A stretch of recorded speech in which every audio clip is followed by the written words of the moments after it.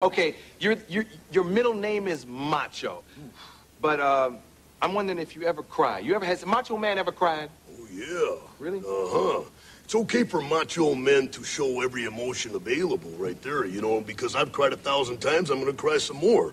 But I've soared with the eagles and I've slithered with the snakes and I've been everywhere in between. And I'm gonna tell you something right now. There's one guarantee in life, and that there are no guarantees, yeah.